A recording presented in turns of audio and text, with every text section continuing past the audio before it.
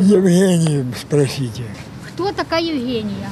Моя сожительница. Если бы я не она, я бы здесь не был. Віталій Антоненко написав заяву у поліцію про викрадення і незаконне утримання. На підготовчому засіданні у Деснянському суді просить долучити до справи позов про відшкодування моральної шкоди. Його підтримує інший потерпілий. Хочу позов подати.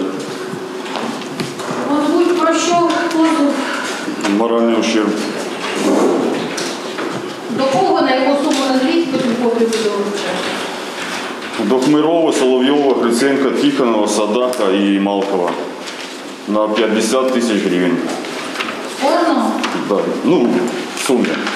На лаві підсудних шестеро чоловіків, пастор реабілітаційного центру і волонтери-наставники, як вони називають себе самі. Їх підозрюють у тому, що незаконно проти волі утримували людей у реабілітаційному центрі для алко та наркозалежних. Зі слів начальника головного управління Нацполіції в області Володимира Нідзєльського, людей віком від 18 до 50 років на прохання родичів звозили до незаконного наркоцентру на реабілітацію.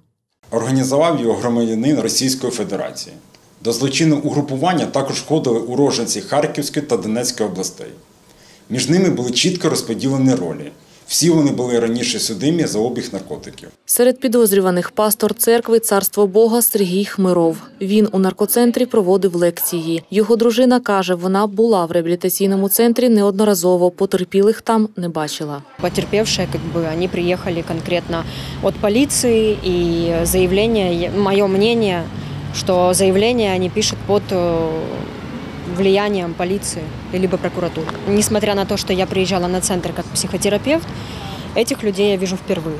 На самом деле. А По поводу морального ущерба, это полнейший абсурд, так как, э, ну, не знаю, там, по-моему, один человек вообще 14 минут пробыл на центре, и он пишет заявление о том, что его удерживали.